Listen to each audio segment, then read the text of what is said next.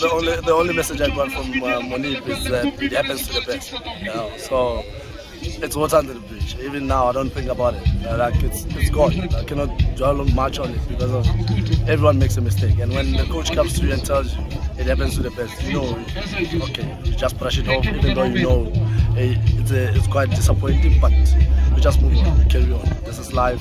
So that mistake is gone. Evanka, well done for him to press me. But uh, most of the players in the PSL they know you cannot press Veli Mothwa because of your